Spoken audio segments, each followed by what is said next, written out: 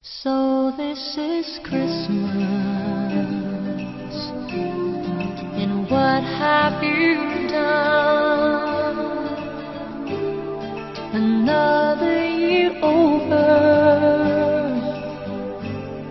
a new one just begun, and so this is Christmas.